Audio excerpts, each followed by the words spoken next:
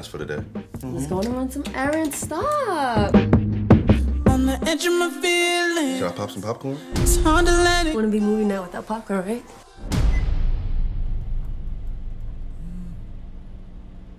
Hello? I remember when you still loved me. Who was that? Why don't you love me anymore? Just another tale of a. Fatal love.